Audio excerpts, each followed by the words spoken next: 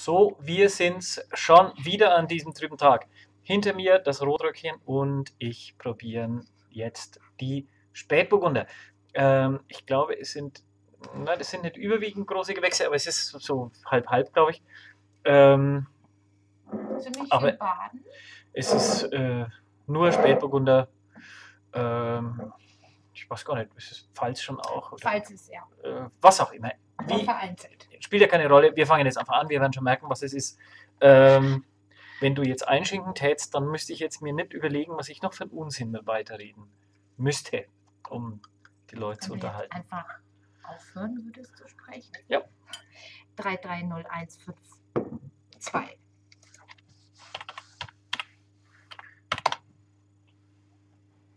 So, die müssen wir jetzt teilen, die Küchenrolle hier. Wir hätten noch. Sehr speckig. Rauchig, speckig, aber dabei eher kühl. So bl- was Blaues hat der Wein, so Heidelbeeren, Mhm. also so dunkle Beeren.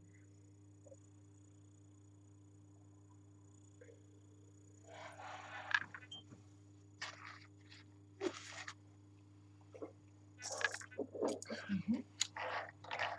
Geradlinig. Ein bisschen von Rauch und Nuss und Holz geprägt. Die Frucht setzt sich jetzt nicht, nicht sonderlich durch gerade. Gestern eher noch mehr, so wie ich das sehe. Mhm. Aber jetzt deckt das alles noch ein bisschen zu. Genau. Das so braucht Zeit. Aber Substanz hat es schon. Und Nachhaltigkeit auch. So blau floral. Also. Der ist von gestern, wie ich sehe. Mhm. Sind alle von gestern. Aber ich finde, dass er Biss hat. Zug. Noch ein bisschen Hefe.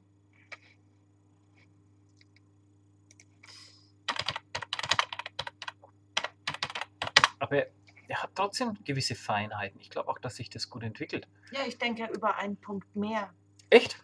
Bist du schon Also so ich bin jetzt, ich bin jetzt gerade ähm, ähm, am überlegen, ob das ähm, für mich kratzt das schon an 87. Naja, was die Konzentration angeht, kann ich das sogar nachvollziehen.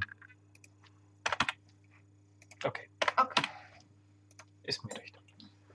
jetzt muss dein Sprüchlein kommen mit den Punkten. Nein, nein, nein, nein. Wenn, wenn mir das recht ist, dann, dann Okay. schuldest du mir nichts. Okay. Das ist von Winning. Pinot Noir Nummer 1. 330101.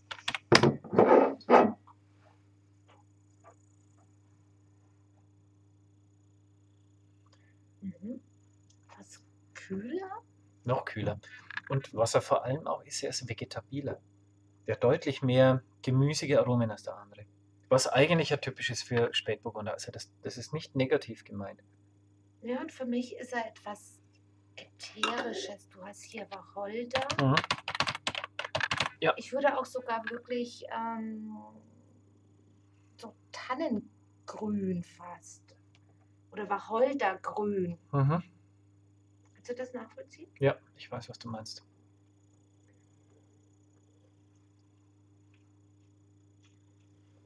Mhm.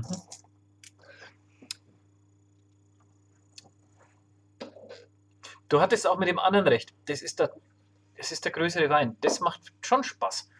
Mhm. Aber der steht da gut. Super, ja. Während der andere wirklich noch ein Stück mehr kann. Etwas, ja. Ja, gut, das muss man jetzt aber auch dazu sagen. Das ist ganz normal Fritz Kellers Spätburgunder. Das ist sein Basiswein und dafür ist es schon Das verdammt ist gut. super. Also, das ist echt eine Leistung.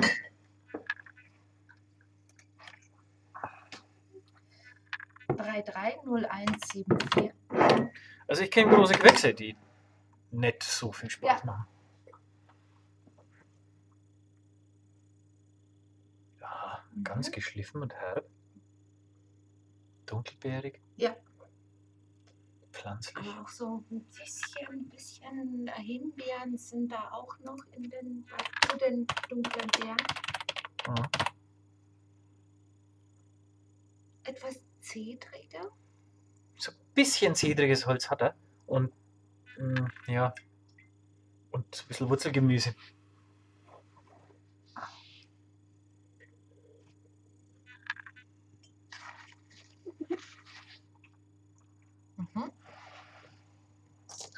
Ein Stil, den ich sehr mag, ganz klar. Kühl, herb, mit Biss und Schliff. Kann ich sehr gut nachvollziehen. Also der ist so richtig Salz, schnörkellos, Pfeffer. Ja, ganz herb. Überhaupt nicht schmeicheln, bieten. muss man dazu sagen. Also das ist, also wer, wer lieber weichen Spätburgunder mag, der ist da nicht gut aufgehoben. Wer es wirklich straff und knackig und Ja. herb will, Ja. so wie ich. Hm. Kriegst auch Lust, was dazu zu essen. Mhm. Das ist Weingut Fischer. Zum Weingut Heger gehörig. Spätburgunder Holzfass. Das kann man vor allem bezahlen. Ja, wie viel kostet es denn? Hm, Ich weiß es nicht ganz sicher, aber so irgendwie um die 12 oder so. Okay. 330191. Also ausgesprochen gutes Preis-Genuss-Verhältnis. Ja. Oh, Bisschen speckiger. ja, aber auch tiefer. Kühl geschliffen. Ganz feine, gewürzige Aromen.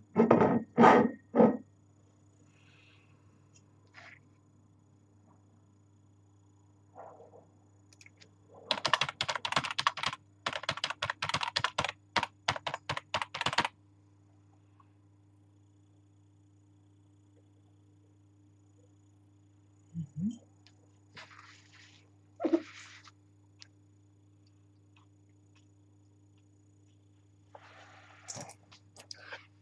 Eine ziemlich noble Frucht. Ziemlich fest, schöner Saft.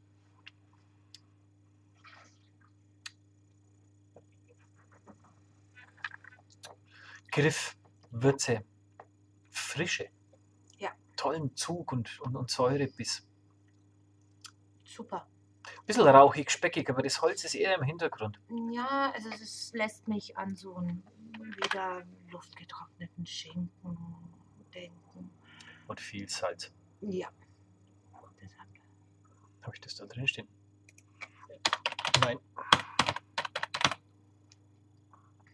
Finde ich sehr gut. Finde ich, steht auch gut. Bist du schon wieder beim Meer? Ich habe schon einen Punkt gut bei dir. Noch ein? Herrlich, ich will dir nicht drohen, wenn du äh, die- ganz und gar nicht. Ähm, wenn, äh, wenn du mir, wenn du mich argumentativ überzeugst, nein, aber ich finde wirklich, dass er da hinkert. Ja, gut. Findest du nicht? Ja, also wenn ich jetzt hier nicht weiter, ähm, ja, wie soll ich sagen, das ist, ja, kann, kann ich nachvollziehen. Du kann- darfst ruhig schimpfen, wenn du magst. Du findest, du findest, er hätte einen mehr verdient. Nein, sonst würde ich das sagen. So, was denn dann? Was, was habe ich denn dann Es schon wieder so- falsch gemacht? Ich mache immer alles falsch. Also, das ist übrigens, da machen wir nichts falsch. Äh, wer den kauft, macht auch nichts falsch. Spätburgunder Mimus von Heger. Ähm, ich kenne keinen Mimus, der mir bislang mehr Spaß gemacht hat als der, um ehrlich zu sein. 330135.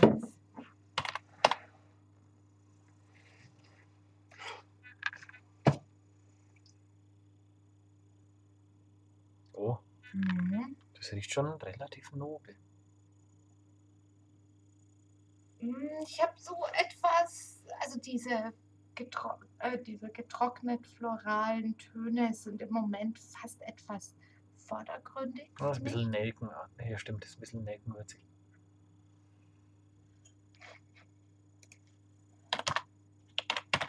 Ja, aber die Frucht finde ich recht nobel. Ja, das kann ich, also wieder so Heidelbeeren. Mhm.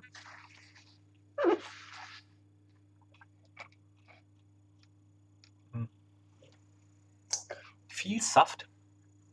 Viel reifer Saft. Wieder Nelken. Mhm.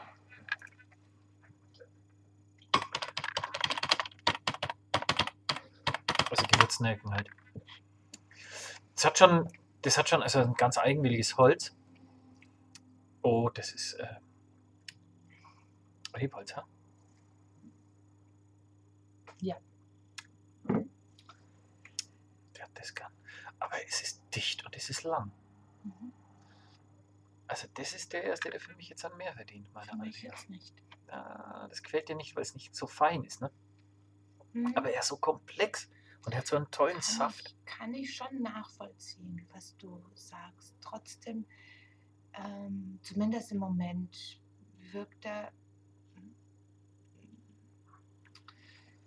so in Richtung fast schon etwas Rustikales. Also eine Seite von ihm hat etwas, vielleicht auch was Geerdetes.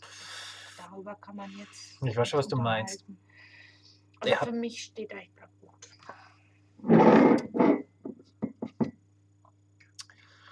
Da muss ich jetzt aber dann wirklich einen Punkt einlösen, den du mir schuldest, Dann, weil tu, dann tu es. Warte nur drauf. ich werde ich werd dann einfach heimlich ihn noch einmal probieren. Und wenn ich dann immer noch finde, dass ich nicht deiner Ansicht bin, will ich ihm trotzdem ein mehr geben. Ja, ich dachte, du machst jetzt einen Punkt. Nö. Ach so, wenn ich den einlöse, dann darf ich ja. Stimmt. Das ist ja gut. Es ist ja gar nicht wahr. Äh, Du schuldest, du würdest du mir ja noch einen schulden. Jetzt Jetzt schuldest du mir keine quitt. mehr. Jetzt sind wir quitt. So sieht's mal aus. So sieht es aus. Sehr schön. Danke, dass du mich daran erinnerst. Jetzt, jetzt kann ich es auch zeigen. Das ist Rebholz vom Muschelkalk 212. R. Spätburgunder natürlich. Ähm, Ortswein Siebeldingen. Nur das, um noch das dazu zu sagen. Der ist auch lang. Ich finde, das hat er verdient. 330105. Aber ist sicher egal, ob es verdient oder nicht, denn äh, du warst mir schuldig. Also ob es in deinen Augen verdient, in meinen tut das ja eh. Herb. Bisschen gedeckt. Kühl. Das gibt noch wenig her. Pfeffer. Ganz viel schwarzen Pfeffer. Steht ja gar nicht drin. Ja, ja, ich schreibe es ja gerade ein.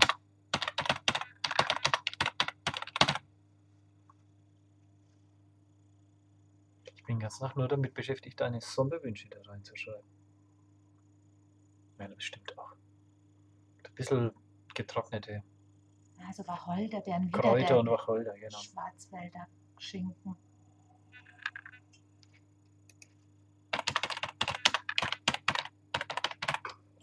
Mhm.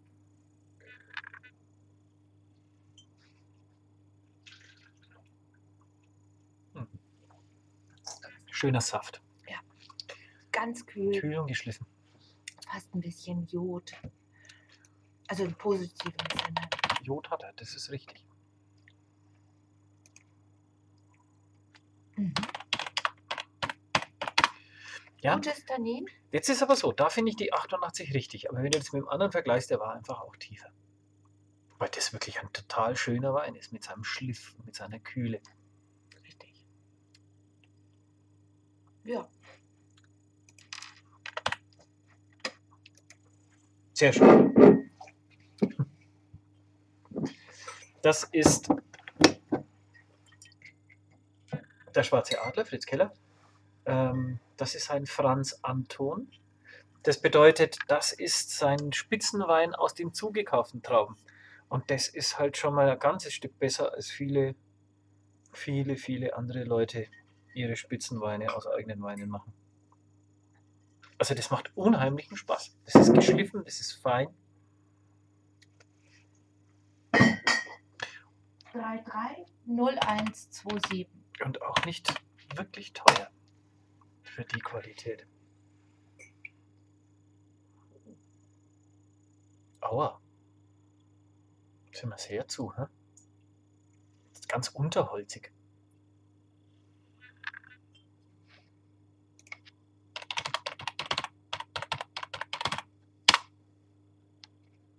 Mhm.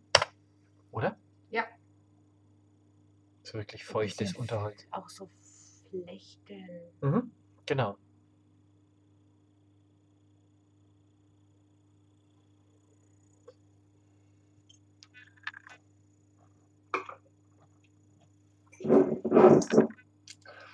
Herb, rauchig, speckig, Sehr salzig. wieder Jod, Salz. Sag mal, ist das schon wieder, äh, ist das, ist das der 210er? Ist das Ja. schon wieder? Deswegen. Also wieder Rebholz, aber diesmal die Spitzenversion aus 210. Mhm. Das kann was. Das kann was, aber man merkt ihr das leicht Grüne des Jahrgangs einfach an. Und dieses etwas, etwas eckigere, finde ich. Ich finde den Wein trotzdem wirklich hervorragend. Aber kann es mehr?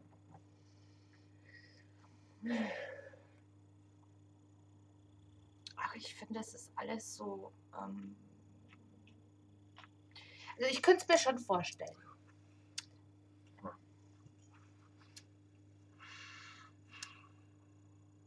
Es ist alles so in gutem Verhältnis. Löst du jetzt alles weg? Ich war nahe dran, aber nicht absichtlich, sondern bloß weil mein, meine Maus spinnt. Ich, ich neige dazu, dir zu folgen, weil er so lang ist. Mhm. Aber man merkt, es ist eigenwillig. Es ist sehr salzig. Ja, aber die Länge hat er. Es sind 90, ist gut. Sehr schön. Das ist Rebholz, wie gesagt, im Sonnenschein R 2010. 330193. 2010 war eh, wo das Burgunderjahr deutlich größer ist. Ich glaube, wir. Ja, wir hängen. Hängen wir da schon wieder? Was ist denn jetzt los?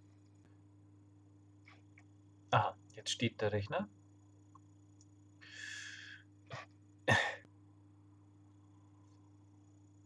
Jetzt wir ein Pech haben, haben wir wieder einen Verlust. Haben wir noch viele Weine?